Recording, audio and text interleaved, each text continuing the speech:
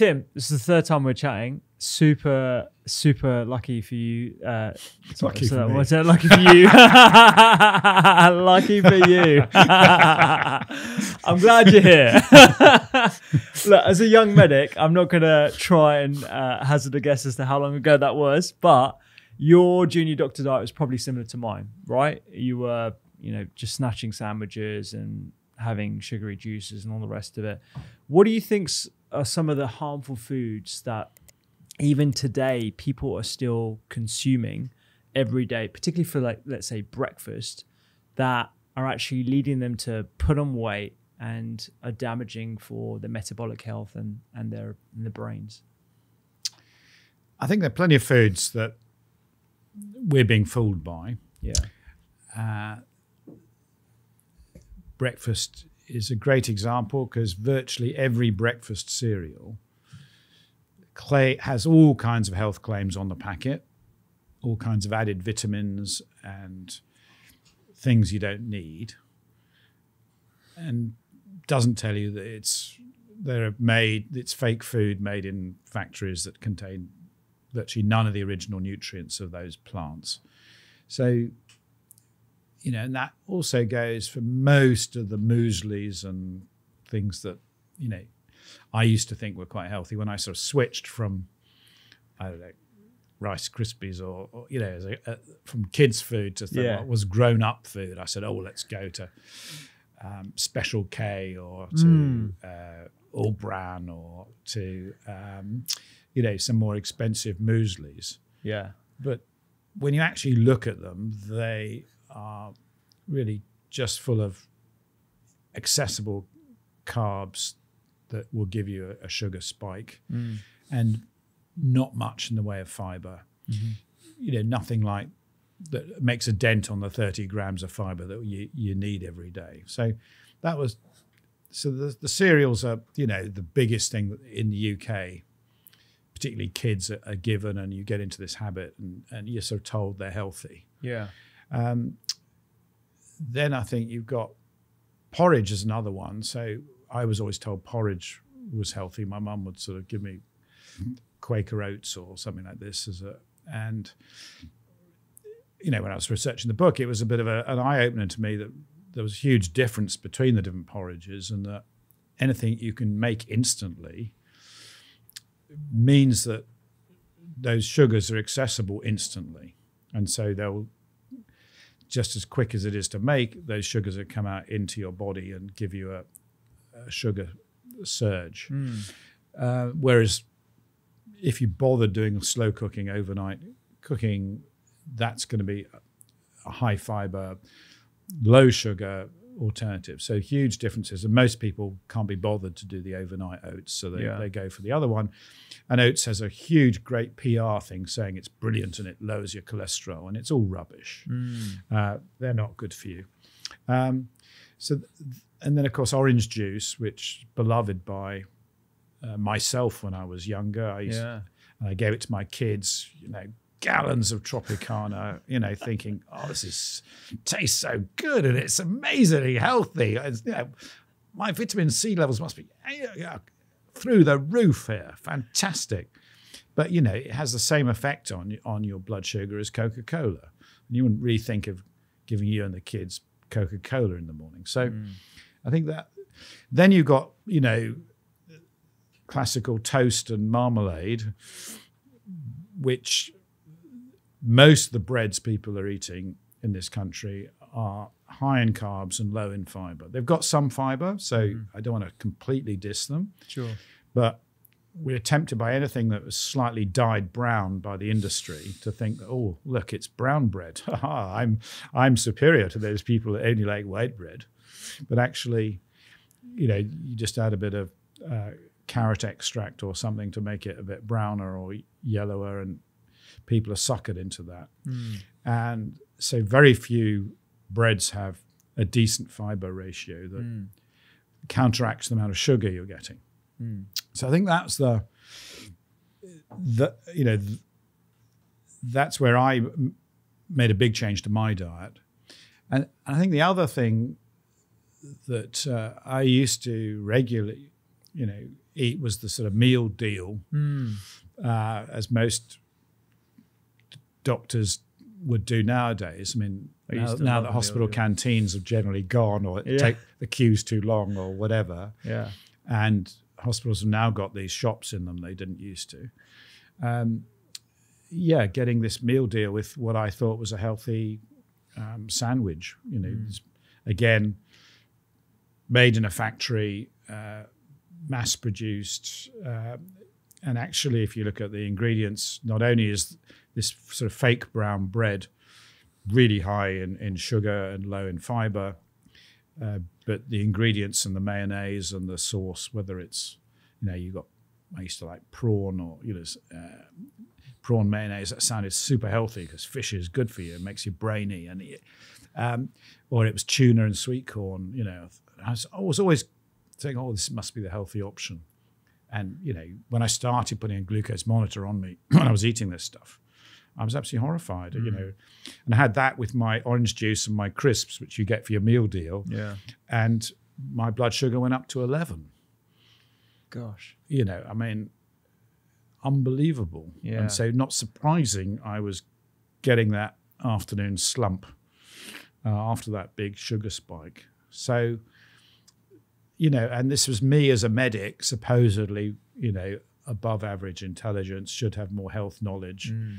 And you still see plenty of people, plenty of medics still ignorant of this today. And I think this is the, you know, we're talking to, you know, perhaps five or 10% of the population, but um, 90% have still got no clue that this stuff is making them tired, making them, you know, giving them brain fog, making them hungrier, so they're putting on weight, and messing up their gut microbes. And Yeah. I think this is, you know, the real motivation for, you know, me talking about this, you talking about this, you know, why we want to change things and show there are different ways of eating and how disastrous this has been. And, you know, there was the, we're finally admitting the NHS is broken and our healthcare system is broken. Finally, we've got a government that is talking the truth, uh, despite putting lots of money into it. And um, a lot of that is because we've not been talking about prevention for the last 15 years at all. For sure. And if you basically f- fill people with foods that are poisoning them, you're going to get many more health problems than other countries. And Mm. so the, the pressure on our service has been uh, terrible. You know, and the system has not been coping anyway. And we just need to start rethinking this because it's costing us an estimated 90 billion pounds a year, whilst the food companies are making 30 billion pounds profit from us. Mm. And that's, you know, that's sort of half of the NHS um, expenditure Yeah. is what we're spending because of bad food. And all the estimates are if we change our food from the worst habits to the best, we can reduce the burden of all these diseases, all the chronic disease of aging, by about 70 to 80%. Mm. So huge potential gains just by educating people and changing the food environment. You, you, uh, what you're referring to, I, I guess, is the um, the Darzi put, the report that literally just came out today. Um, and one of the stark things that you you mentioned was the degree of investment that's actually been increasing, even allowing for COVID year on year, despite what's uh, a failing system uh, by every metric imaginable. And I think that lack of focus on prevention is surely to blame. Part of the issue, I guess, is that food landscape. What you just described there in a hostel setting of those little shops with the meal deals, I think is basically on every single high street. And even when people move from becoming problem unaware to problem aware, they still struggle to make the changes. You know, there's a lot of you know my colleagues who still work in A and E and hospital environments. Like, well, there's no other option. That I don't really know what I can do. How do you think we get to those people who are actually problem aware, which is still probably the minority across the population, but at least you know galvanizing that change and, and getting them to vote with their where they put their pounds. Well, it's difficult because people are busy, and you know, if you're surrounded by f- these sort of fast food outlets Hmm. that are offering you a nice sandwich, you know, and you've only got five minutes, Yeah. and there's no healthy alternative other than ultra processed food, uh, you can see why people do that. Um, so, you know, we've got to start changing the food environment. And the easiest thing for a, a government to do would be to say, well, you know, the government owns, and the taxpayer own hospitals. You've got to have rules to say in hospital you have to have some uh, certain levels of non-ultra processed food, and we shouldn't be. We should be bringing that down both for patients and staff, because most of the staff in the NHS are obese, uh, far less healthy than the average population because they are in a terrible food environment. And as you say, it's not always their fault because they're busy and they have got nowhere else to go. In other countries, I mean, I've worked in you know a few other countries, Australia, Belgium, Spain. People bring in their their food themselves much more than they do in this country, and we provide spaces for them and facilities for them to do that. And they bring a Tupperware, you know, from their their evening meal they'd have cooked, and so that's a sort of mentality we need to start changing while there's still a terrible food environment. Yeah. I, I'd love us to have proper salad bars and nice food, you, you know, real food in in in hospitals and and government facilities. But you can imagine that's not going to happen anytime soon because at the moment these these shops are propping up those hospitals, giving them valuable income, Yeah. which they you know they would otherwise all the you know the the walls will be falling down. Hmm. So that's what we have to sort of that's what we're dealing with. But I think if you started with the catering of for patients, for example, and some hospitals, as you know, across the country do a good job, Yeah.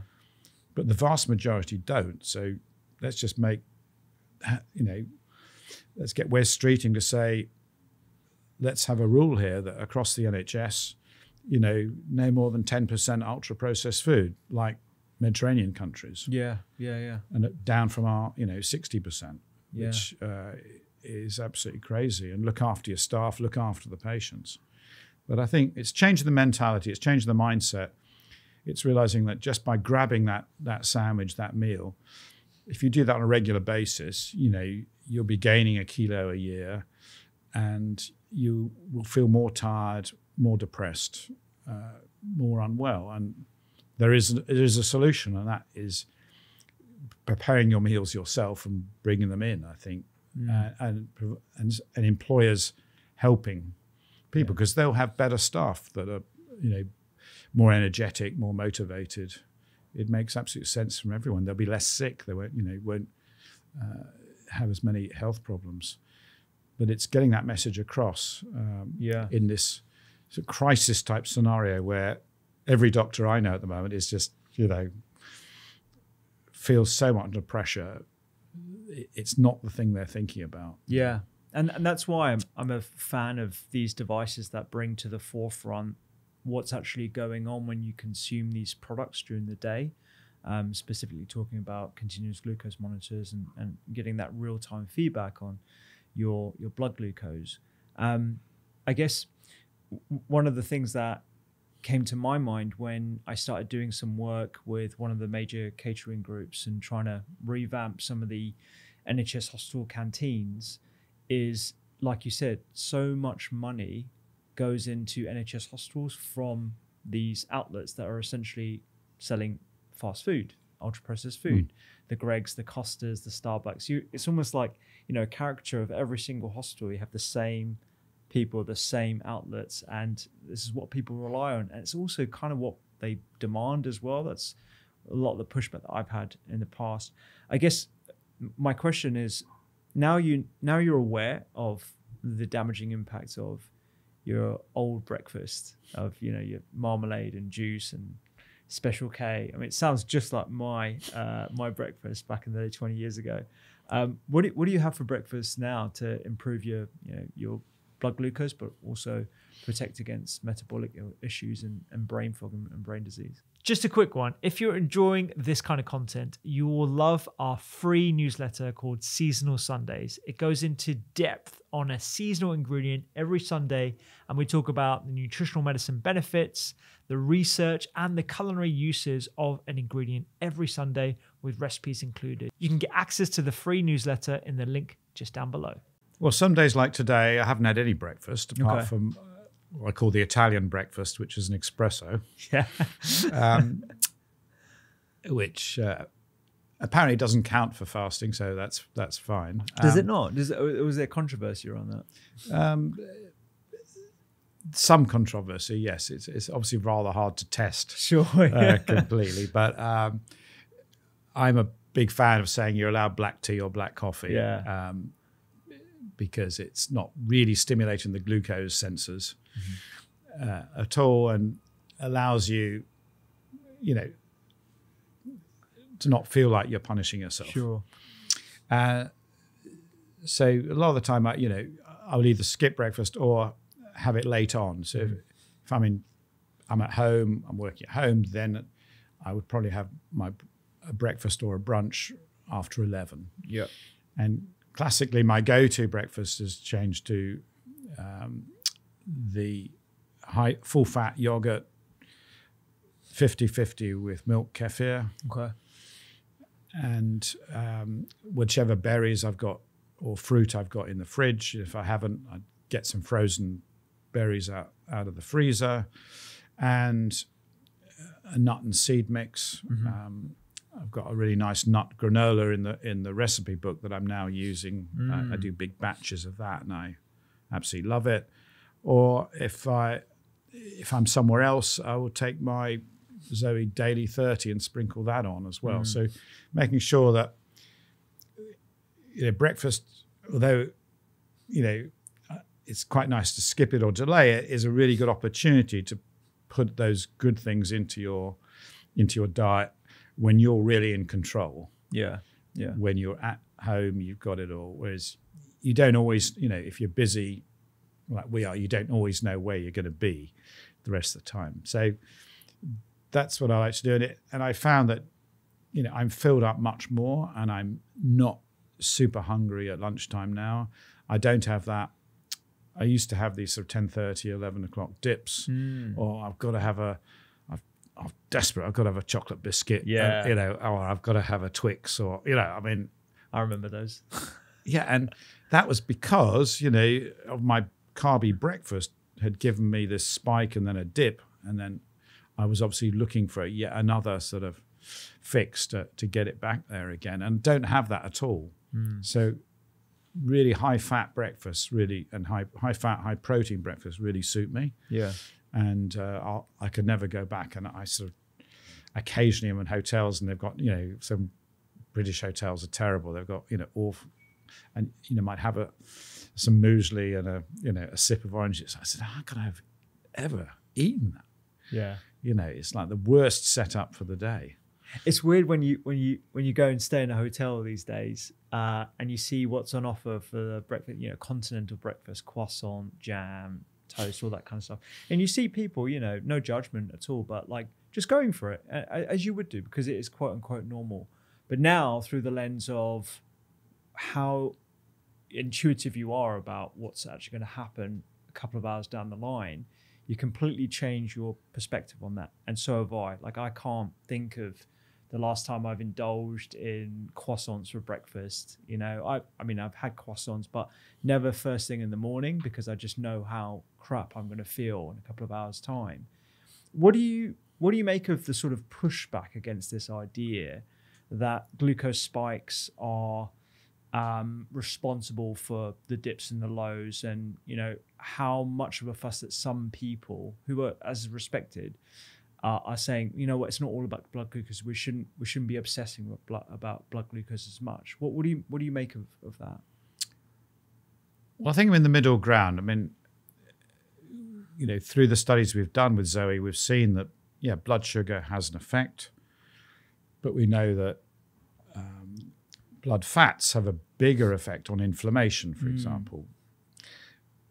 and uh, we also know that feeding your gut microbiome also has an important effect, as does you know time restricted eating. So I think you've got to take a holistic view of it Mm. and realize that also we found a tenfold difference between people's blood sugar responses. So some people it really doesn't matter that much. You know, some people, lucky buggers, can can have a croissant and it doesn't, you know, my wife is one of them, you know. So, Mm. so she eat a croissant, she doesn't really get a, a big sugar spike Yeah. um, and I get a massive one. So, you know, we shouldn't be demonizing sugar for everybody, and we also shouldn't, you know, delicious foods like croissants. You know, every now and again, if I'm in France and there's a fantastic hotel breakfast, I'm not going to say no because Sure. yes, they don't have anything else, but you know, you've got to take those pleasures in life. It doesn't mean you have to have it every day. Mm. So, yeah, I, I think we've got to realize that we, again, we mustn't fall into the trap of reductionism to think that it's only about glucose Mm. and that it's all about this balance and that probably if you've got your your gut sorted out, you know, you can tolerate Mm. the occasional burst of glucose better than you could when you were in this really bad state of swinging around all, the time. So Mm. yeah, be aware of it, but it's not the it's not the only thing that matters. And I think everything in science and medicine always tells us it's more complicated Sure, than we first think. So someone comes oh yes, you know, it's all about gluten, or or it's all about lectins, or it's all about you know glucose, all about protein. Well, no, it, it never is. Mm. So it's a factor, but we shouldn't be absolutely obsessed with it. And you know, there are some, there will be some good foods that have bad GI effects. And I was, I was there's one of them uh, at the moment that, that on Zoe we don't score very well because it's it's quite a sugary, starchy vegetable. a beetroot, Oh right. Because it's you know it, it's quite sugary. Yeah. I mean, you use beet cane, don't you? That's Yes, you- it's a sort of form of sugar in sure. a way. Yeah. Um, but we know that it's got many other properties Yeah. that um, uh, is good for blood vessels. It's uh, more potent than salt reduction in reducing blood pressure.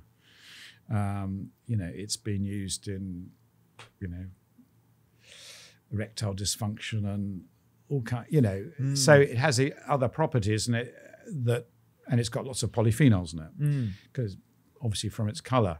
So if you only went on the sugar, you'd say, well, actually, I can never have beetroot, Yeah. and you'd be missing out a lot. So that's there are some good examples in nature of why we mustn't be too rigid and uh, reductionist on Yeah. this, and that's why I want people to learn more about everything about food and and all the different structures and things because it's complicated and you you can't just have a single parameter. Yeah, exactly. And I guess you know, using the same analogy uh, as your wife and, and other people who are lucky in the sense that they don't get that big glucose rise, it doesn't mean that they can just eat all the refined carbs they want because eventually it's going to catch up with them. It will you know damage their microbiota or they won't feed their microbiota. So overall, it's gonna gonna have a negative impact. We know that. Yeah, because they won't be getting the fiber as well. So again, but if you only focused on the sugar, yeah, that's right. You'd miss that nuance Mm. and say, well, okay, what's the reason it's not good for you? Yes, it won't make them feel as bad, Mm. but long term, uh, they're, they're going to get negative effects as well. But it it just means they don't have to be quite as uh, you know picky. Yeah, yeah, yeah. And I, I think just you know this idea that we did have this tenfold difference between people is Mm. still quite an amazing fact, and even Yeah. even identical twins having different responses to sugars should make us a bit circumspect about sort of demonizing all food. You know, Yeah. anything with a GI score above this level or below Yeah. this level. Um, everything in context, you know, and I Mm. think that that's really important. this tenfold difference if you could hazard a guess i know in biology nothing's certain but if you could hazard a guess as what is having the biggest impact on that variability is it come down mainly to the microbiota differences is it other things like i know stress state sleep sort of like the speed at which they ate the food? What, where would you place your chips as to you know where you think it's what's having the biggest impact? There was no dominant factor when we did try and break it down. Um, there were multiple factors that had small effects. Mm-hmm. Um, genes were still important, Okay. but they only accounted for 30% of the differences. Okay. I think the next biggest was uh, microbiome. Mm-hmm. Then it was the sort of meal composition itself. So you can sort of say, well, you know, where there were proteins and fats in there. There was also the previous meal. Mm. There was also your sleep Okay. and whether you exercise. So all these things have a a role that Yeah. it would take a huge ton of experiments to, to sort out. Mm. So I don't think there's sort of one factor that, that determines it, and it, it it probably can vary a little bit from one day to another. You know, again, depending if you've had a different sleep or, you know, we have people who sometimes repeat their Zoe test and say, well, you know, I'm different now. Mm. Um, you know, and some people it's because they've taken antibiotics in the meanwhile, or they're doing less exercise or more exercise. Um, you know, it's not it's not fixed for life, Yeah. Yeah. Yeah. and we don't know. Some people might, as their microbiome improves, they might get better responses. Others actually might get more sensitive. You know, we're, we're not, we still don't really understand all about it. Yeah. You, you mentioned lectins there. I've got to ask you about lectins. this is one of my bugbears. A lot of people ask me about lectins online, and I have to keep on giving the same answer again and again and again because there is this sort of Is it still around? I oh, thought- it's still around in a big way, a big Oh, way. I get a lot of messages about this, a lot of DMs. Yeah, I would say weekly I'm asked about lectins. Um, what are your What are your thoughts on on lectins? I know I, I don't even want to be discussing it, but it keeps on coming up again and again. Well, it's quite simple, really. It's complete rubbish. um, you know, any sort of influencer can come up with a theoretical reason that one chemical in some foods or plants has uh, a theoretical negative effect on something and then make a career out of it. Sure. And some people have done a brilliant job in demonizing, uh, you know, this compound lectin because they call it an anti-nutrient Sure. um, because yeah, in theory it might stop you absorbing some of the other nutrients in the, in that food. Uh, in reality, if there is an effect, it's pretty trivial compared to the benefits of eating that food. Mm. And no one, what everyone should be asking is, well, show us the randomized controlled trial in humans that shows that people who cut out eating high lectin foods are healthier. And, Yeah. And it doesn't matter whether it, you know, it's gluten, whether it's lectin, whether it's um, some uh, possible carcinogen or, or, or whatever someone's talking about at the moment. You know, either those studies have shown no difference Mm. or they've shown a benefit of, of eating that food. So there's plenty, massive studies that show that people eating high lectin foods like beans and pulses have reduced heart disease, increased uh, longevity. So Yeah. these are just, you know, essentially people out to make a reputation because, you know, they're not scientists. And so they just pick on something and, um, well, tell them do the proper science. Yeah. Come back and talk about it. Stop talking about theoretical problems that stop people eating real foods. So, yeah, I, I, I too get get angry about it, and similar ones about seed oils and Yeah. you know, these sort of things. They're they're based on hot air, Mm. and people just need to say, okay, show us the trials in humans, not in mice. Um, you know, if it all stacks up, if the epidemiology stacks up with the randomized trials and maybe supported by animal data, yeah, then you might believe it. Sure. Yeah. You know, like we have with artificial sweeteners, for example. Yeah. Uh, you know, it's not conclusive, but we've got pretty much overwhelming evidence from many sources to show that they're not good for us. Mm. But um, yeah, um, we need to stop this sort of infighting in a way because it's a bit like I don't know the you know the Trotskyists attacking the sort of Leninists when you know the fascists are taking over. Yeah. You know, um, I do wish the the sort of food people would, would just attack the real enemy, which Yeah. is junk food and fake food, Yeah. and stop attacking. You know, the, anyone who's trying to promote real food. Yeah, it's almost like if you mm. were a conspiracist, you'd probably imagine that the food industry is probably behind the misinformation that actually leads people attention, their attention to go, oh, well, beans are bad for me, I've heard, or you know, these kind of oils are bad for me, I've heard, and so the, your attention goes there, whereas actually it should be on well, what is the the matrix of your entire diet? You know, how much of it is ultra processed, and how can we move you from from highly processed to less processed, and ultimately you know, minimally or zero Well, it's quite possible that these people are uh, sponsored by the food industry. yeah, it's interesting. Um, if you look at the, the the U.S. records of what Coca-Cola did like 20 years ago, they promoted all these influencers and researchers to say that if only children in schools were exercising more, um, you wouldn't have an obesity problem. Mm, It was, you know, to distract from the fact that they're eating all the, drinking all these uh, products that are making them uh, obese and diabetic. And it's now well proven that uh, exercise isn't going to help children uh, who are drinking Coca Colas and junk food at all. And that was a brilliant distracting device. And they paid for all kinds of research and influences. So it's quite possible that these these attacks on on real food are coming from the food industry, who obviously make have no interest in making beans in jars or cans because it's very low. You know, uh, make no money on that because it's they much rather create some fake food.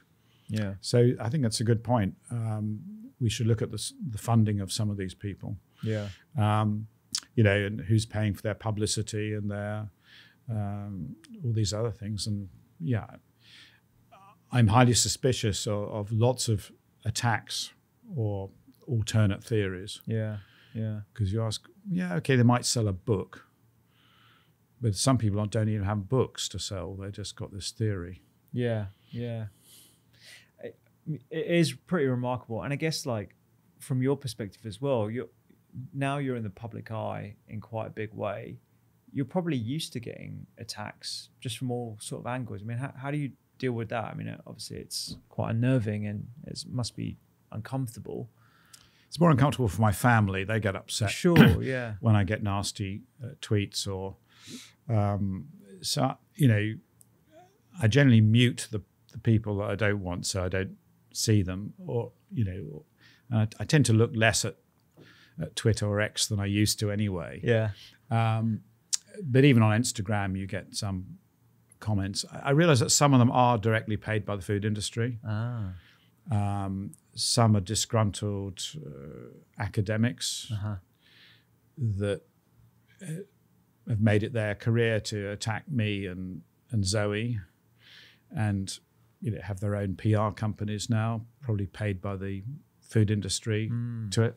Particularly if I'm attacking ultra processed foods or or whatever, because they they now see Zoe and me as the same, and therefore uh, a reasonable target. Um, I did something on. It was interesting. Like it can go into other fields. I, I, I had a tweet that went viral about sunscreens. oh yeah, Um, I said people don't need to wear sunscreen year round. okay, Um, it's complete madness and, and, and bad for your skin. uh huh, And you know we all need vitamin D mm. and uh, and supplementation. You know. And I'd, I'd said previously, supplementation is, is a waste of time. Mm. and three million people or, or whatever got this, and everybody uh, laid into me uh, these influencers who are peddling sunscreens to young women year round uh, on TikTok and everything. So, uh, and you had celebrities weighing in. I had I don't know Jay Rayner. I had um, wow, um, what's his name? The uh, um, the the doc, um, the gynecology doctor who wrote the books. Um, I don't know. I, I try and spend as little time as I can. anyway, as people you you- go. so who know nothing about Yeah. the subject. You know, I've been studying vitamin D for 25 years. Yeah, yeah. My wife is a melanoma expert, Uh-huh. um, and everything I said was absolutely true. So, and then the, the newspapers all piled in, and you realise that actually the sun cream industry are, are paying these medical charities to promote this stuff, Hmm. and there's absolutely no evidence that it reduces aging, which is what they're sort of saying there's no evidence. no evidence it reduces aging. There's no decent. And eventually, the British Association of Dermatologists came out and said, "Well, he's actually right. You know, why would you tell young women living in in England in, in midwinter To, to wear SPF 30 um, all- as an extra layer on their skin all year round? So that they are, you know, most of their lives wearing an SPF 30 in a country like the UK Hmm. and then being told they have to take vitamin supplements on top of that. Yeah.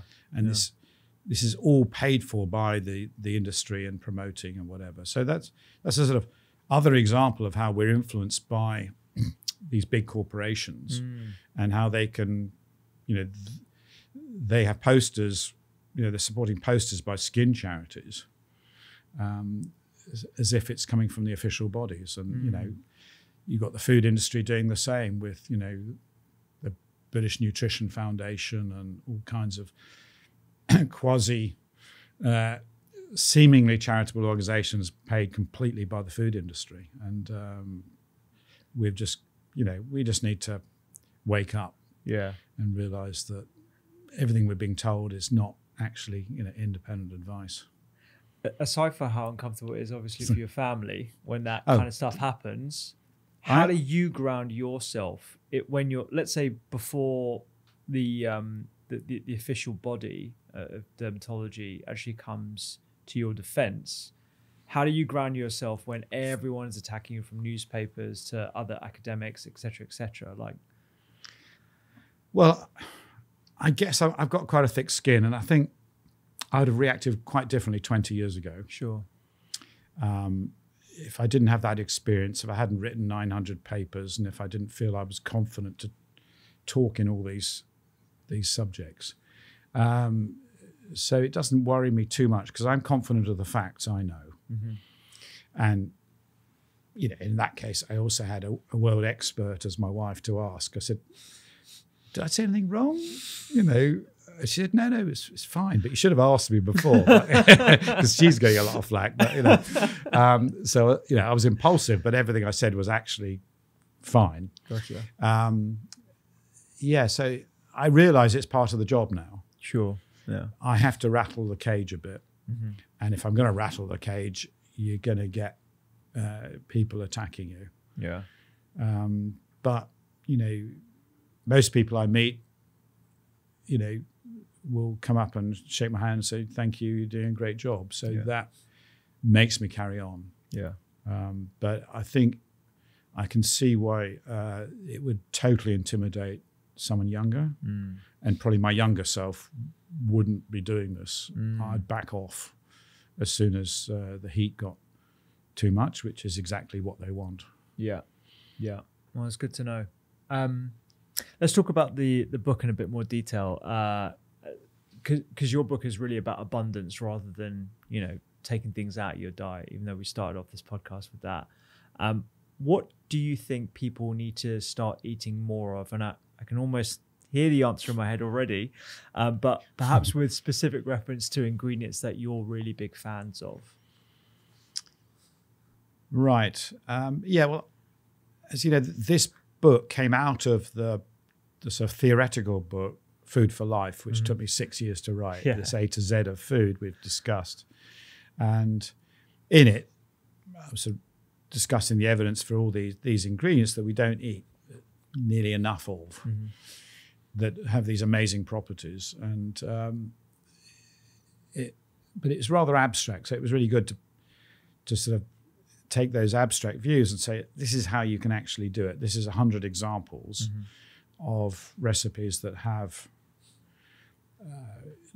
lots of different plants in it, lots of polyphenols in it, um, lots of amazing flavors with interesting swaps that you might not have thought about. So it's it's often about swapping what you're mentally would think about. So um, swapping white rice, which although super tasty, and I know you're you're a rice fan, Yeah. uh, sorry to say that, but you know, the fact that bulgur wheat, uh, quinoa, um, you know, barley do an equally good job, but are so much more healthy Mm. and f- actually filling, um, is really interesting. And so recipes that show you sort of just get you into that Yeah.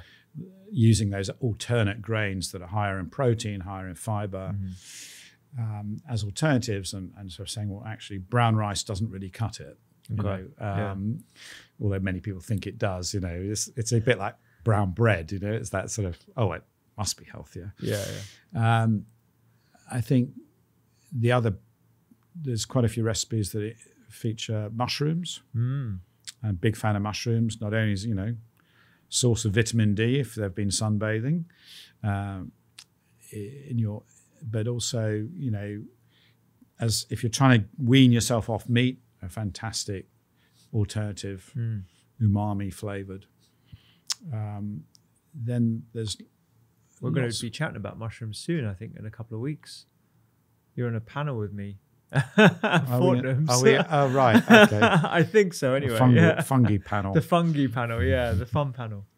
so yeah, I mean, we don't eat enough mushrooms, Yeah. and people often a bit frightened of cooking them and Yeah. doing these things. So They're so easy to grow as well. They're, they're delicious. There's so many varieties. and yeah, they're incredibly good for us, and they have, you know, because they're not plants, Mm. they've got a different structure, and so it's quite likely that you know all those nutrients will be quite different to the ones you're getting from your other foods. So Mm.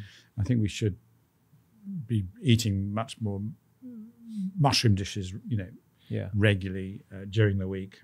Did you Uh, say they're well not plants? They're not plants, no. Well, let- let's let's double click on that. Uh, how are they? How are they not plants? They're their own kingdom, the fungi. So they're actually uh, genetically they're closer to uh, animals than to plants. That's going to be shocking for a lot of people. to hear that.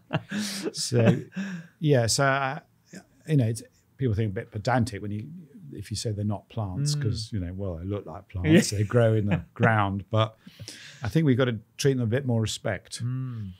and you know they are absolutely incredible um, species that will out survive humans Mm. and you know they have these in, these connections under the ground that they they estimate is about a third of the the world and really responsible for soil um, the health of the soil as well so you need this mix of the microbes in the soil but you've got all these networks of fungi that are communicating with each other so uh, you know learning great respect for Yeah. for fungi, and I, th- I think you know we're starting to see how they're they benefiting people uh, going through chemotherapy Mm. uh, as adjuvant therapies. Um, some of this these mushroom teas are, which I thought were rubbish when I first heard about them. There's some evidence that you know they have some clinical benefit. Uh, so I think we we need to really look much more at this whole space, and th- these can be incredible medicinal foods, Mm. know, which the, know, the Chinese have been using for ages. Yeah. But I think we're now starting to do proper clinical trials, and um, uh, you know, particularly cancer, cancer and immune system. Uh, they're really, really important.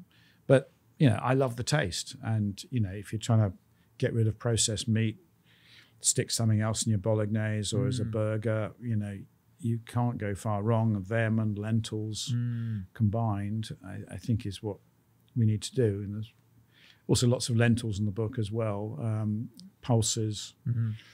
and this whole concept of high protein plants, um, the peas, the legumes. You know, the book is packed with those as well. So, and they're all incredibly cheap. So that's you know we've talked about this in the past, but people don't realise that you know You can keep in your freezer, your bag of frozen peas. There's some great recipes in there that you know, just frozen pea fritters or whatever. Incredibly easy to do, and you're getting a high protein, really fresh, uh, high fiber meal. So. Um, more and more lentils, you know, and, and keeping a store cupboard. I think what I learned when we were sort of writing this and testing the recipes is how much you can do just by keeping good items in your in your kitchen in your sort of dry shelf. It doesn't have to be all super fresh. Yeah. Uh, if you've got these lots of cans of, of beans, um, uh, lentils, chickpeas, and grains, Mm. uh, the odd can of tomatoes or whatever, you know, you can make incredible dishes Mm. um, without having to, oh, I can't be bothered to cook because I need to go to the shops, which, you know, we've all been there. And then you order the takeaway or you go out and you sort of regret it. So hopefully people will read this and think, gosh, you know, there's a, we've got a list in here of a sort of the Zoe larder, if you like, Mm. of, of things. And this will just make people think more about the getting these things and realizing they don't have to be de, you know dependent on their supermarket or whatever if they're they're sensible um, and um, you know people are frightened to eat less meat and this is a plant-based book we we thought about having some meat as side dishes or fish as side dishes uh, but in the end you know we thought well actually you know, everyone knows how to fry a steak or a, a chicken or whatever. You don't really need a, if they want to add it to these. But the whole point is these are, you know, the, it's converting people from having meat at the center of their, their plates to plants. And, you know, you've got 100 recipes here where the, the plants are the, the big deal. Mm. And many of them have super umami taste so that you think you're sort of eating, you know, meat like flavors and uh, I think this is this is the what you need to do to if you want to make that switch. And I think many people listening will say, "Oh yeah, but I still like my meat." You know, I, well, you know, what I did when I switched over was, uh, you know, I went vegan for six weeks. Uh-huh. Uh, so I was forced to do this. Um, it only lasted six weeks because I, lo- I love cheese, but um, I think you, you know, even if it's only two weeks of saying I'm going to go without meat and I'm going to try these dishes, that will tell you that you you know you can cut down your meat intake without problems. You don't have to go fully vegetarian, but I think you realize what you're missing Yeah. If you're only sticking a big slab of meat on your, your plate with a few peas or carrots around it every day. Yeah. And I think that's you're missing that diversity, you're missing those different flavors and, uh, you know, spices and herbs. And It just makes it so much easier. Yeah, I think what you mentioned about the umami flavor is really important there because when you start introducing things like miso, soy, mushrooms, tomatoes, even, they do have these natural umami flavors that can make you sort of uh, what can satiate that craving for, for meat. Um, it is a plant based book, I believe. It, it, in entirety, there's no cheese or nothing like that. Well, plant based, uh, no, there is cheese. Oh, there's some cheese. But there's al- You wouldn't do But there's always an option, you know, to, yeah, for, for a vegan to, to swap it out for, you know, yeast or gotcha. uh, tofu or, or whatever it is. But um, but there were some lovely other swaps in there. There was um, instead of bechamel sauce, Yeah. which I used to love on lasagna, we've come up with a, a tofu and white bean Mm, puree that works brilliantly. Uh, we stop, swapped the s- standard stock cube, Mhm. which, although it's in small amounts, is you know theoretically an ultra processed product uh, for miso paste mm. And miso is you know a fantastic fermented soy and very natural and we should be more having more of it. So hopefully that will improve miso sales uh, around the country. But also just make you people think about what they're putting in it. And it's actually even more as you said umami than a standard stock cube. Yeah.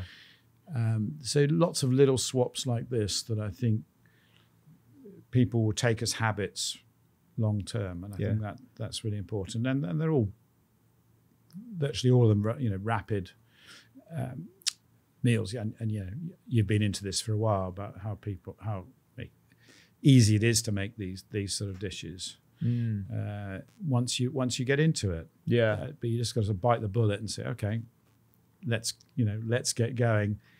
Stock up your larder, you know, get all these things, and then once you've got them, really, it's it's no time at all. Yeah, it takes just a bit of practice, and I think the inspiration you've got in the cookbook is is fab. Even my wife today struggles to fathom how I make dishes from pretty much nothing in the fridge. And I'm just looking at the store cupboard, and it's things like you said, you know, tomato puree, uh, lentils that can be cooked within 20 minutes. The the red split lentil variety.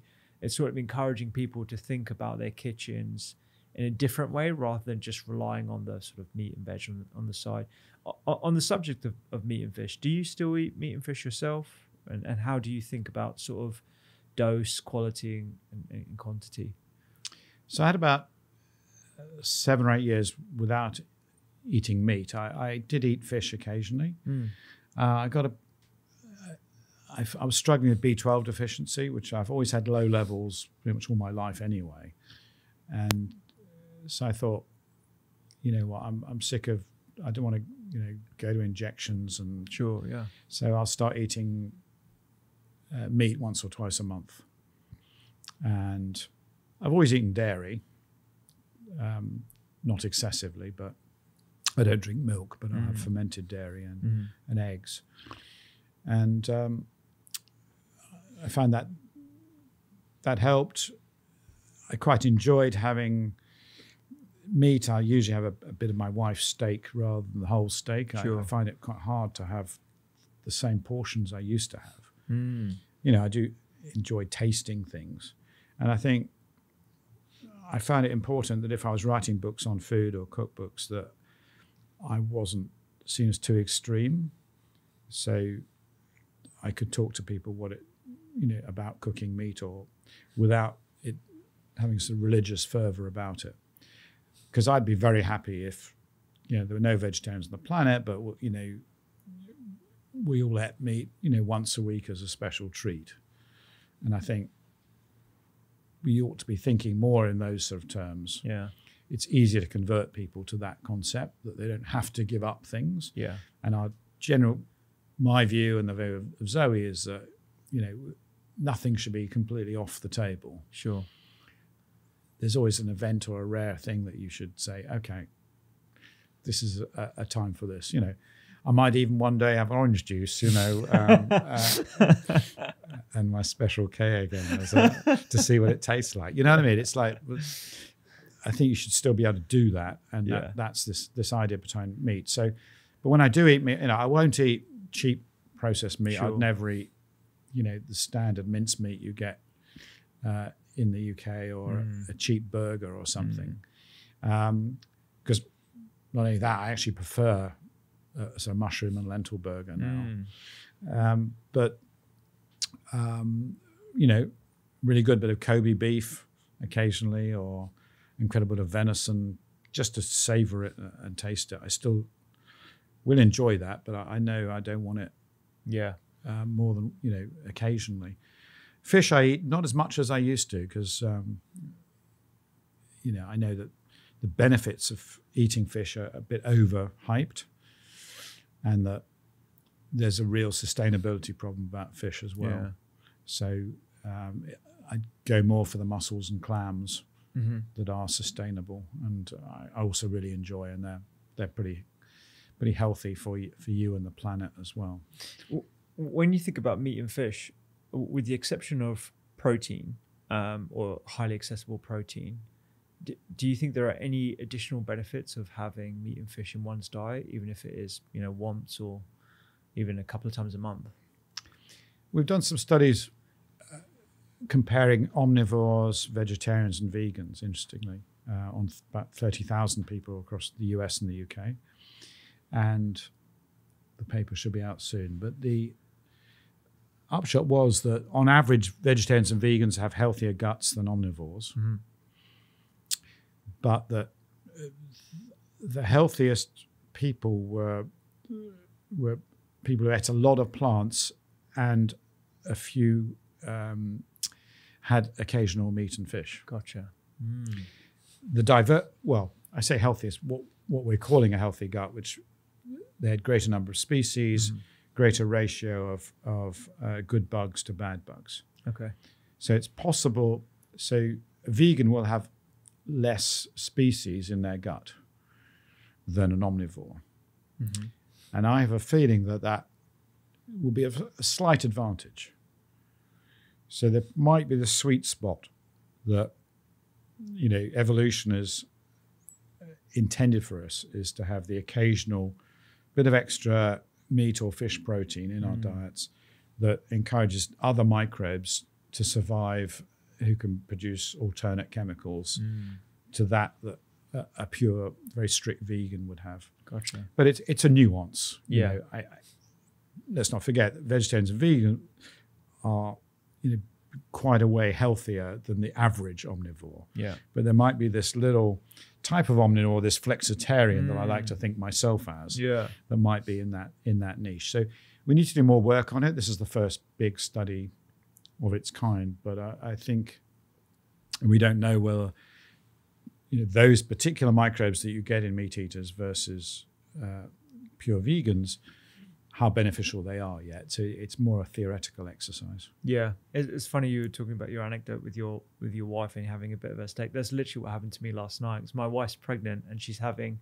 We, we generally eat mainly plants during the week with a bit of fish, but she's been having cravings for, for steak, and that's literally what I had last night. But my I think my gut microbes aren't used to having red meat anymore because I feel heavy the next day, hmm. and I just you know a little bit of bloating, and you know just my microbes clearly haven't adapted quick enough to to accept. No, well, they're, they're in for a bit of a shock, aren't they? If they get a big slab of steak on there. I said, "What's this guy doing?" You know, um, he told us to go on holiday. You know? so I think that's that's really a, a an interesting message that once you do have less meat, you, you, you need you're, you're satiated by much less of it yeah, um, and uh, yeah, and that's probably because you and it it's a bit like people who don't eat many vegetables, you know, and you get all these people that said, "Oh, I can't, I can't eat vegetables. They give me bloating and con- you know uh, and constipation. I feel terrible." Well, you need to build up your microbes so they can digest those pulses and you know these high fiber foods that, that we're talking about. So I think it it works across across the board really that things you're not used to eating, you know, might cause you some problems if if you don't do it gradually and and build up your your reserves. I mean, we've never thought about digestion in that way. That yeah, oh, it's just your acid that breaks it down and nothing else really matters. But you know, clearly the microbes are, are playing a key role. yeah. There's a huge army there battling down and breaking down your food. Um, with regards to your B12, uh, is that is that something that you're able to manage with food now, or do you have to supplement, or is it? Uh, yeah, I'm la- I, I do check it sort of once a year, Uh-huh. um, but I, I can largely manage it with food. Oh, Um. I might get a once a year injection or something if I'm low because yeah, I've I've got high blood pressure, so there's some evidence that low B12 has a, a negative impact on your control of your blood pressure. That's why Mm. I'm perhaps more fussy than most people. Yeah, yeah, yeah, yeah. As we it. should be, you know, like even with my own health issues that I had, I, I'm probably, I feel I have a lower threshold for unhealthy habits than my colleagues, and I think everyone's different. I think you know th- th- that that's that stands. That's that's a good testament to that. Um, you mentioned dairy uh, before, uh, with the exception of cheese and aged cheese that I know you're a big fan of. Um, what about regular dairy that most people have in their in their coffee, in their cereal, as a as a drink? Um, what, what are your what are your thoughts on on dairy now? Dairy's interesting. I mean, I think there's no reason for adults to drink dairy. You know, you think about well, cow's breast milk. You know, why would we carry on drinking it? Milk, you know, breast milk, very good for children, designed for rapid growth, etc. Um, all the studies suggest that uh, if you have a lot of milk in your diet, you, it doesn't make you healthier, but it does make you grow faster. Mm-hmm. And they've done studies show that actually your bones get longer, but actually more fragile. So we now, all the epidemiology shows that milk drinkers are not protected against fracture. Okay. I used to tell my patients completely the wrong advice. You know, if they were vegans or whatever, I'd say, "Oh, you really need to do something about this because you're not having milk." Mm. No evidence really that you know, unless they've got other vitamin deficiencies, that they're they're they're in trouble. So, this myth that milk and calcium were really important for our bone health has been disproven by all the, the latest epidemiology and trials. So, we shouldn't be seeing it as a health drink. Um, I think we shouldn't demonize it either. Okay. And so, having if you have a splash of co- you know milk in your coffee, it's really no consequence, Mm-hmm. um, unless you're lactose intolerant or whatever. But um, so, but I don't think we should be encouraging people to drink pints of milk. Okay. Like we used to. Yes, like we used to, like I used to, Mm. um, thinking it was going to be good for me. There's absolutely no evidence it is, you know, and um, for some people that you know it, it, it is going to cause problems. But when you ferment it, it does seem to be good for you. So whether that's as kefir or yogurt or cheese, interestingly, so but it's probably more the microbes in the fermenting that's making it good rather than the basic lactose and um, proteins in the milk. So do you think it would be the consumption of probiotics in that fermented product versus something to do with the saturated fats or the proteins and how they coagulate in that fermented product? So what would I guess another way of asking uh, would be if you were to have um, kefir made from milk and kefir made from coconut or water, would you have the same benefits to the to the person? It's hard to answer that. I mean, because you get different microbes in the two, and you Okay. it- they haven't managed to work out to get microbes that grow in coconut as easily as they Mm. do in milk. So, lots of microbes prefer milk to coconut, so Mhm. it's t- tougher. Um, but I, I suspect that the main effect is is having the right number of microbes rather than the substrate. Okay. Um, uh, so that's that's that's my hunch anyway. So, but it means that if you can get the similar similar ones growing in coconut, it should be just as good for you. Yeah. And and there are there are data that um, water kefirs, for example, uh, fruit fruit kefirs or tibicos are you know have a lot of the same ha- benefits as as the milk kefirs Mm. if you've you know um, if you're doing similar types of studies. So I think we're going to see more of those non-dairy ones because you know 80% of the pop of the world's population don't have the enzyme to break down lactose, Mm. and um, this is very much a Western sort of dominated idea. And although fermentation breaks you know breaks it into smaller fragments and things, there's still some people who are a bit sensitive Sure. uh, to it. So I think we're going to be seeing more of the the non milk products, and you know, and increasingly for the planet, if you can have a, a really good non milk product, fermented food, we should be switching to it.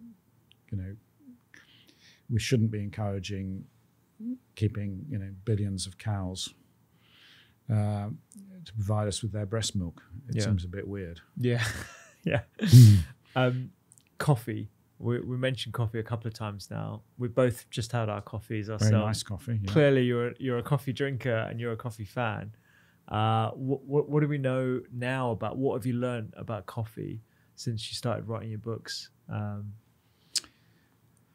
Well, I mean, since I, I first, my, I wrote my first paper on coffee uh, actually in about 1981, wow. well before you were born. So, yeah, um, um, saying that it caused cancer of the pancreas. okay. so I spent the rest of my career trying to make up for that yeah. dreadful mistake. gotcha. Well, that got into the Lancet, so it helped my career, Wow. my early career. As a I was a student then, but um, uh, um, yeah. So we, coffee's gone through these cycles of it's a demon drink, it's a great drink, it's a demon drink, it's going to be you know typical Daily Mail headlines of Sure. Yeah. uh, it, it causes cancer, it cures cancer. At the moment, all the evidence suggests that apart from a, small fraction of people that don't get on with it, it's really healthy. And that you reduce heart disease by about 20 to 30% if you take, uh, have two or three cups a day. Okay. And it looks like up to five cups a day is still healthy Okay. they used to really worry about the caffeine and all these problems, but that's not been borne out by any of the data. And it's it's because it's a high fiber, high polyphenol drink that uh, has properties that we don't really understand what they are, but it because there's so many different components to it. And it also seems to be helpful if it's decaffeinated. So it's not the caffeine that's that's causing the particularly the heart benefit. Okay. So this is good news for people who you know uh, can tolerate the taste, don't like the caffeine. They can have high quality decaf and get some benefits. Um, so yeah, I, I think I recommend everyone treat it as a plant. It is a fermented plant, Yeah. and we ought to just see it as one of the you know thirty a week. It's an easy one to tick off for us Yeah. uh, that we've got, but you know, I think it's it's giving it its status as a as a, a plant health food Uh-huh. rather than this evil cancer inducing stuff that you know I used to think it was. And what really fascinating, we've got a um, a paper coming out sh- showing that there's one microbe that we've all got in this country Uh-huh. um, called Lawsonibacter Lawsonibacter. that is the fussiest microbe uh, in Christendom because it it, it only uh, eats coffee really? and it's so fussy. And because there's so many coffee drinkers, coffee drinkers have high levels of Lawsonibacter. Uh-huh. And when you don't drink coffee, it drops around to really minimal levels, but doesn't disappear. So it's hanging around in some sort of suspended animation in most in people, and it's in the air because if you live with coffee drinkers, uh, you might kiss a coffee drinker, or you know you're exchanging saliva or whatever. You know, after a few years, babies don't have it, but eventually they will get this microbe, and it just sits there waiting for you to drink coffee, and then it goes wild Wow. and expands. And it's the strongest association we've found at Zoe between a, a food substance and a specific microbe. Uh-huh. And it, it it's a lovely story, um, and uh, it, it, and it's interesting because this doesn't exist in non-coffee drinking countries Really? and doesn't exist in babies. So it's it's really a sort of cultural thing that we've we've brought on, and, uh, and there's a similar story about seaweed eating microbes in Japan, but it this is a really nice one. It, but it gives us the idea that once you've got these big studies, like you know, we've got this is based on 35, 50,000 people, but once we've got 200,000 people, we can start looking at other food microbe associations like this, and so really track Mm. what these are doing. Um, so I think it's like the first of many, but it was that was quite a cool thing to suddenly learn about this um, this fussy coffee loving microbe. That's so funny. Uh, when you think it's just been there, and, and you know where did it come from? Yeah. you know how did it get into humans? All these kind of weird stories that just make me more fascinated about the gut microbes and you know this whole world that we know nothing about. Yeah. And you know, could this be, and could the microbe be producing, you know, these chemicals that then interact with our immune system, that then you know help us uh, reduce inflammation and fight heart disease? You know, we don't know, Gosh. but you know, it could lead to some new medications and um, treatments. yeah. You know, but just you know, food is medicine idea just gets you know stronger and stronger, doesn't it? Yeah, absolutely. And I guess that's the sort of like thread of this whole conversation of food as medicine is something that you, you've you've really become a proponent on over the course of your career. I think when I started, certainly at med, at med school, was, no one was really talking about food in a medicinal context, but but now it's really galvanizing. Um, popular. Yeah, and the first I heard it, uh, these sort of alternate practitioners Yeah. talking about, I thought they were all nutters. Yeah, I'll be honest, you know, and I think most of my medical colleagues regarded anyone who said that yeah, as bonkers yeah, uh, or selling, selling steak, snake oil. Um, you know, and uh, now, yeah, there's me saying you know, exactly that, Mm. that it is the most powerful medicine we've got, and we're just not using it right. mm, and um, everyone needs to to realize that that potential and by understanding how it all works i think you, you get a you can move away from the sort of lectins type scare story and Mm. start really thinking about you know your own body and, and and all the different chemicals going on in there and how it's ridiculous to to, single out one or get obsessed with it. You know think about the thousands of chemicals you need to be pumping out, and your body is a is a pharmacy that, uh, and your microbes are all mini pharmacies that you need to feed with the right ingredients, and um, that way you you can avoid some of these pitfalls of people taking you down, you know, blind alleys and, and things like this. This is the only yeah, cause of this disease. This is the reason you've got this. This is, you know, I, I, you can never eat this. All these sort of rigid rules that are basically complete rubbish. yeah. Um, we, we've really talked about those six concepts in your in your book around this conversation. You talked about the the diversity, eating the rainbow, polyphenols, etc., etc. Um, pivoting your protein. Um, one thing I I thought we could finish up on is uh, this idea of um, time restricted eating, something that you mentioned that you do right at the start. What kind of window are we talking about? And do you think that someone's fasting regime, quote unquote, is different from from person to person? Do you think someone would benefit from a 16 uh, uh, 8 window versus a 12 12 window? Do you think there are variations in, in how one responds? So the studies that have been done on time restricted eating, obviously you're all using volunteers. They're all keen to do it. Sure. It's not just taking people off the street at random and doing it. So you get the selected audience and they get told what to do and they're often in the US they're paid to do it and, and to complete. So you don't really know how easy or hard it is to do these hmm. things. And that's why I'm a bit skeptical about these small randomized trials about what that really means. Um, because those studies do show that, yes, if you can fast for 16 hours and you can do it so you don't eat after 5 p.m. or mm. something, you get the sort of maximum benefit. Yeah. Um, but, you know, is that applicable to real life? Can you sustain that? And we did looked at exactly that.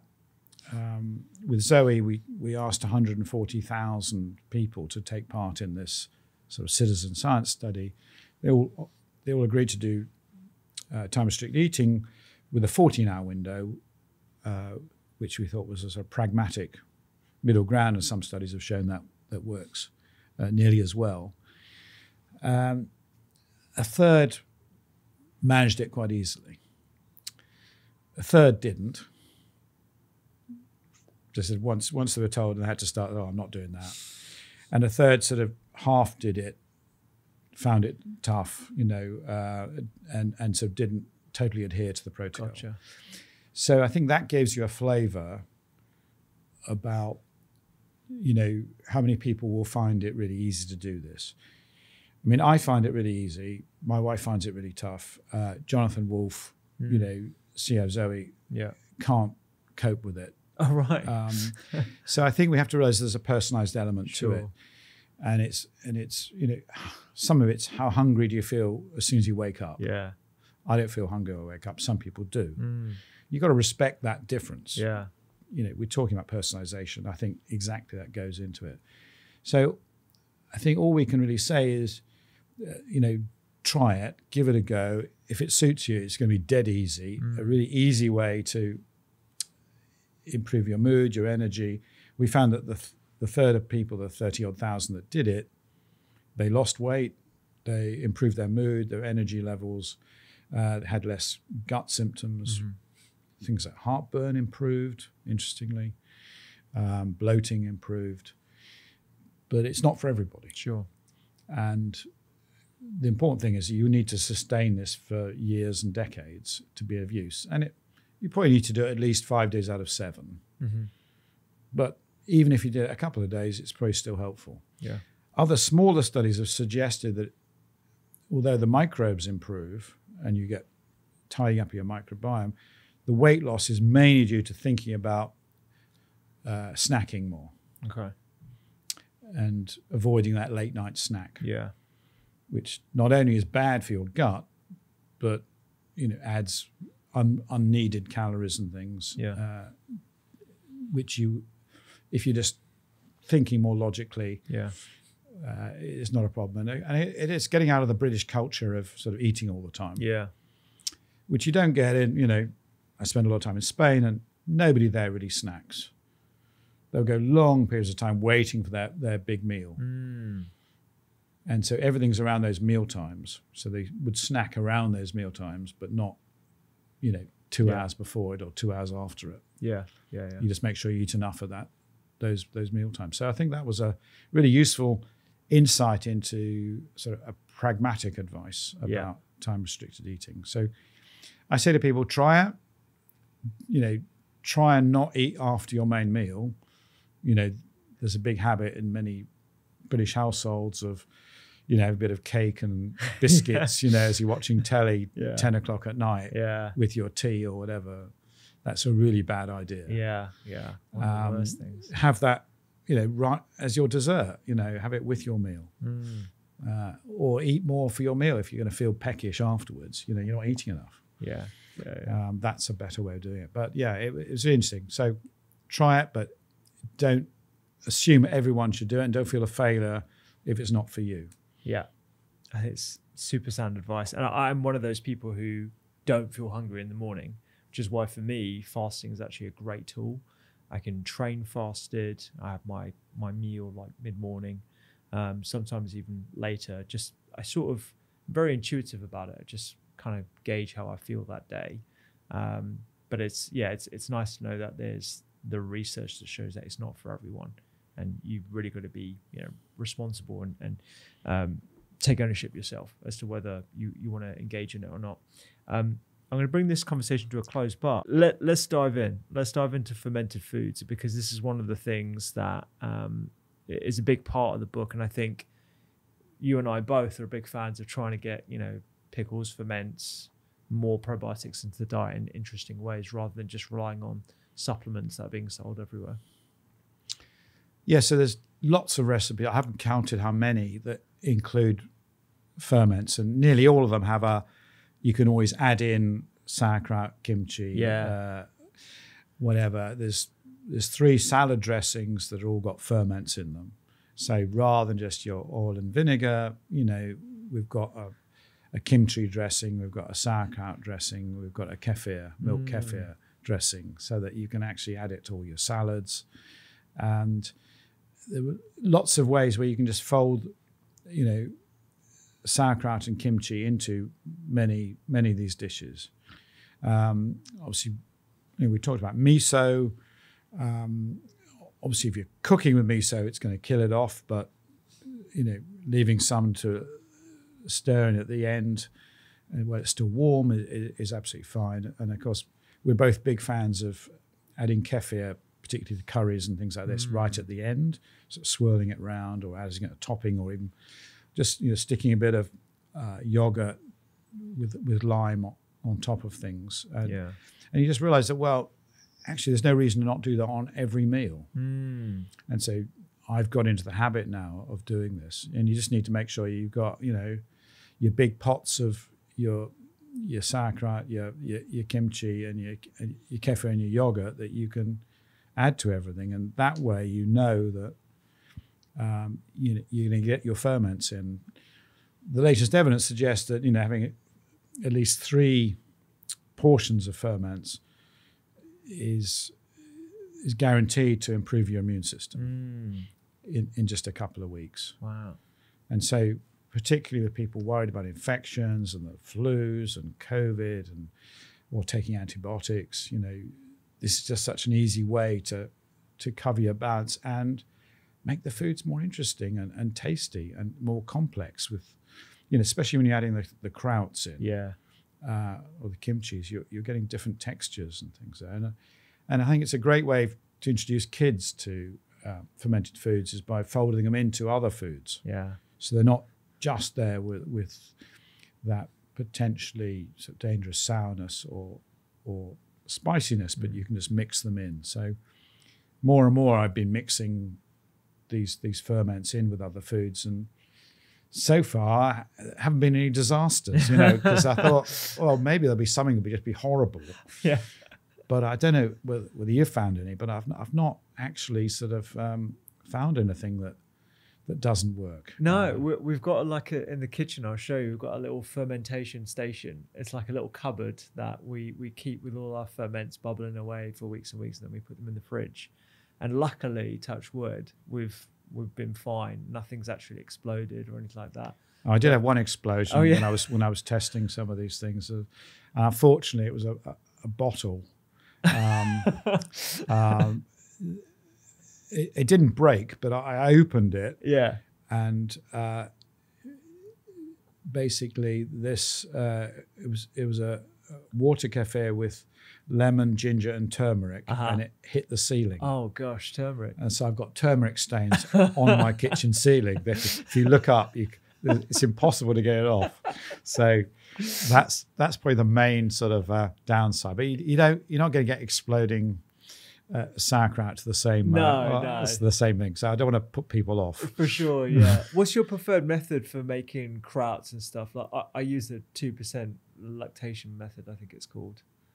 Yeah, I, mean, I think that's the standard one. Is uh, two percent is two percent is the minimum amount of salt. So it makes it dead easy if you just say all you got to do is weigh whatever your your plant is, your cabbage or your um, uh, radish, and mix it with two percent minimum salt. You don't want to go below that because below that you don't get the right conditions. You can get other microbes in it. So two, two and a half.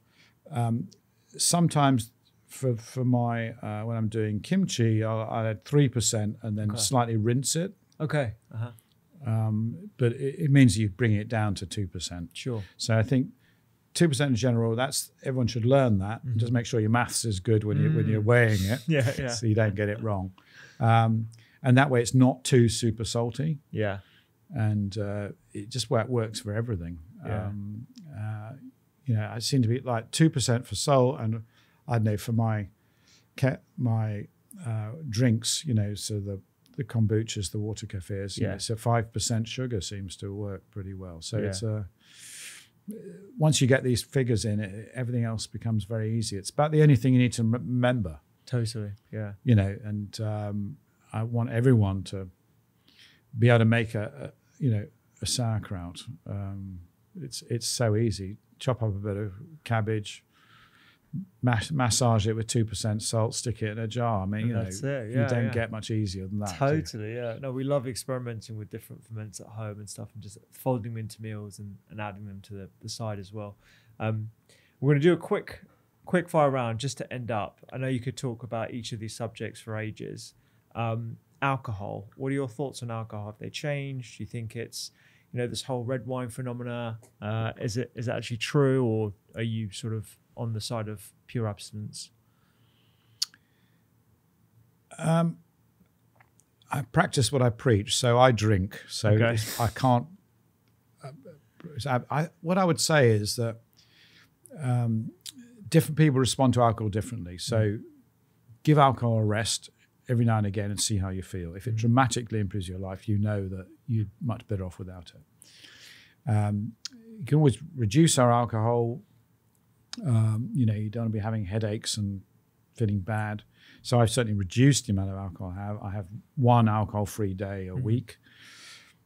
But I found when I actually uh, had a couple of weeks without alcohol, it didn't transform my life. Sure. And I have friends who it has transformed their life. So I think again, it's there is a personal response to this. And if you are going to drink alcohol, um, have small amounts, have as much red wine as you can because it is the one that does help your gut microbes.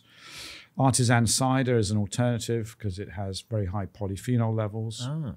Again, you've got the apple in there. Mm. Um, I do get a lot of criticism about my uh, love of red wine, but you know, it's one of the joys in life as well. Yeah. And uh, it's a bit like the, your joy of tastes. It's a unique taste, and I don't think we should be depriving ourselves of this. It's also if you can have small amounts of alcohol and that encourages you to go out and be sociable, that's important for your longevity. So again, it's it's trying to get that balance right, not tell people off, not say you can never have things.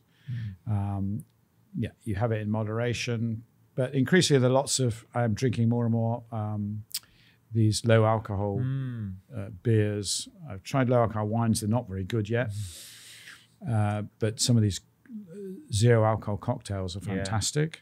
So I, this whole field is exploding. And five years ago, you know, zero alcohol beers were disgusting.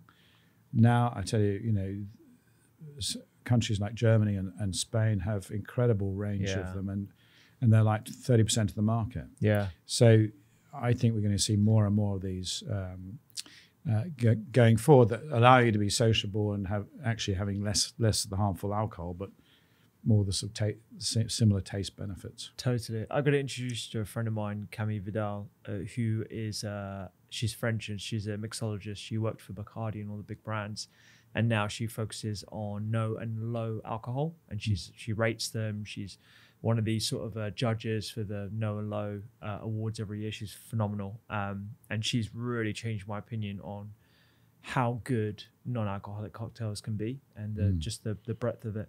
Um, olive oil. Uh, what are your thoughts on cooking with olive oil? Fantastic. Don't need anything else Yeah, unless you're making a coconut curry.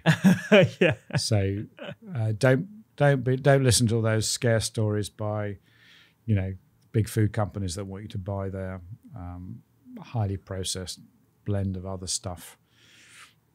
You know, study after study have shown that it's perfect for for cooking. It's Mm. perfect for putting on your salads.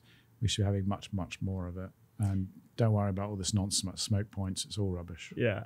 Uh, what are some of your favorite ultra processed foods? favorite ultra processed foods uh, i would It's probably something you haven't been asked many times. as a kid I, I used to love jaffa cakes oh yeah, yeah, yeah. Um, so i'm partial to a jaffa Gosh, cake if someone would so offer, offer me one Th- these remind you of the past Yeah, Um, yeah. You know i'll still eat uh, some of the ultra processed crisps Okay. I now avoid the worst ones. So I'll try and you can get pretty much non ultra processed crisps now. You know, if you get one of those expensive Spanish brands that are made with olive oil and Oh yeah. Only have the potato and things in them, Mm, you pay a fortune for them. But, Yeah. uh, but you, you know, you get they're really good taste. really good. but uh, a salt and vinegar, you know, a packet of Walkers salt and vinegar, I, I'll still gobble down, you know. Um, and I guess the one I'm, I'm most tempted by uh, is something like a in summer a Magnum ice cream or something like that. And I know it's not good for me, but I just love it. But it is a rare treat. Yeah, totally. Uh, I appreciate your honesty. I completely concur with all those choices. Those are brilliant. I'm just glad I'm not surrounded. You know, I don't work at a in a sweet shop or something. But yeah, I know. Yeah, yeah. I'm going to be really careful about what I surround myself with because I, I know what my my sort of um, uh, my limits are. Like I have to be very intentional about what I have in my kitchen. Um, on the subject of uh, UPS, we're going to make some cookies in the kitchen now, but not not an Not Jaffa version. No, some from your book. So uh, yeah, I'll be able to watch that on YouTube for any folks listening. Um, but yeah, appreciate your time, Tim. This has been wonderful. I can't wait to the fourth time. it's been great fun. totally enjoy it. If you loved that episode, you will love the full library of podcasts from the Doctor's Kitchen Library. We talk about everything from inflammation, supplements, and food as medicine. Just like this episode right here. You can click it right now and check it out.